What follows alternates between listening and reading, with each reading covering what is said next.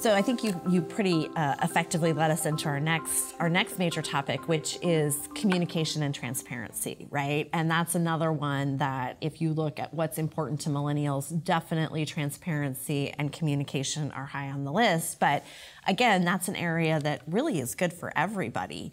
Um, so what what about the transparency do you think Annie is is so important?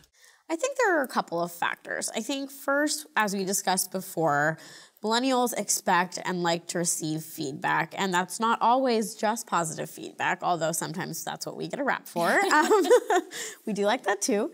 But um, getting the feedback and getting the structure and managing expectations. And then I think, secondly, in an era where um, so much of what's going on in the workplace is being exposed through litigation, like lawsuits about gender pay equity, um, lawsuits about racial equity, um, sexual harassment, and everything like that. Millennials just want more transparency. This is what I'm doing, and why is it having the impact that it is in the workplace. We want the communication to understand why am I moving up when I am, why am I not moving up, and that transparency I think is really rooted in a sense of fairness.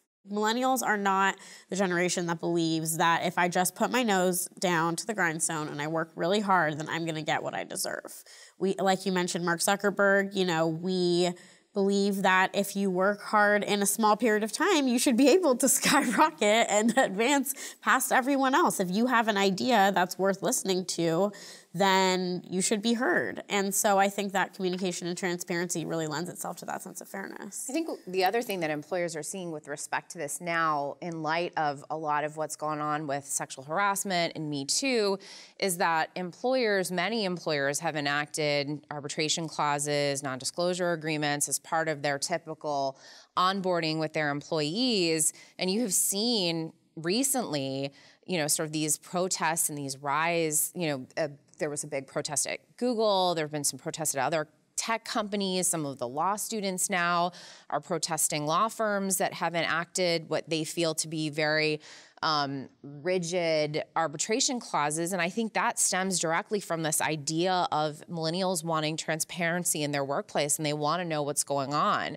Um, so I think it's something for employers to think about. If you have a large millennial workforce, is this something that you know it may be great from a legal perspective to protect the company? And i think as lawyers we see some of the benefits of arbitration and in mediation particularly in delicate employment matters.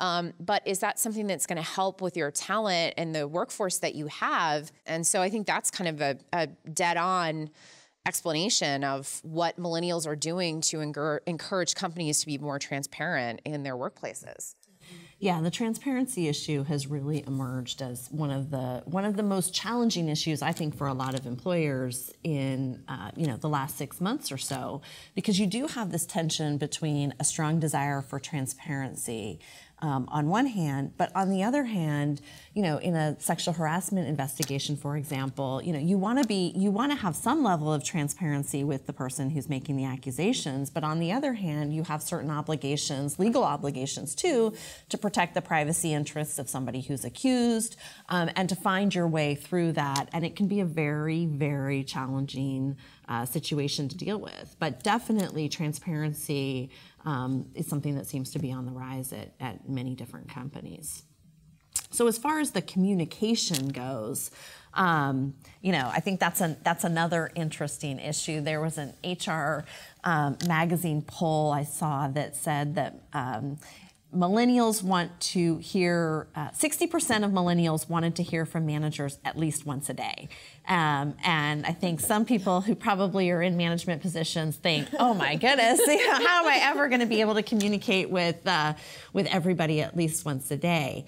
Um, but I also think, you know, on that, on that communication topic, um, you know, there's there's definitely can be a difference in in part because some of the technology between the way that different generations view communications, and I know Annie, you and I have have talked about this in the past, where you know, given given the immediate and transparent response that you get from a lot of different uh, technology sources and communication devices, there's an expectation from millennials that if I send something, I will hear something back and I'll hear something back promptly because that's what I'm used to, the way I was raised. And for some of the older generations, it's not quite like that. Um, you know, we didn't have, I didn't grow up using using certain communication devices, and I may respond to something if I feel like somebody's asking me a question, but otherwise, I just it hasn't been ingrained in me to respond to some, you know, to every communication that I get. Which, if you're not communicating well and having that transparency and open communication about expectations, can lead to misunderstandings. Um, so important to have that kind of dialogue um, and be clear about when feedback is being provided.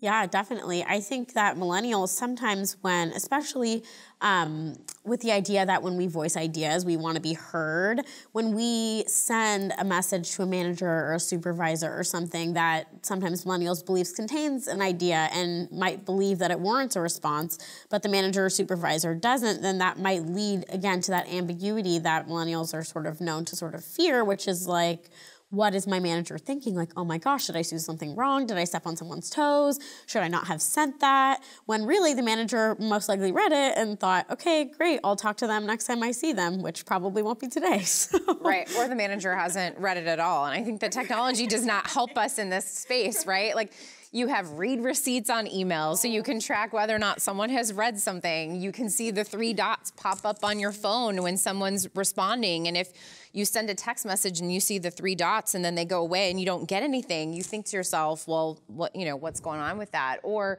you know, if you have IM, it tells you when someone has read your instant message. And so, you know, I think sometimes that doesn't technology does not do us any favors in dealing with um, uh, you know millennials who want sort of this instantaneous feedback because then it even alerts you that we've read it and haven't responded to you which i think sometimes is worse than you know you thinking that it hasn't been read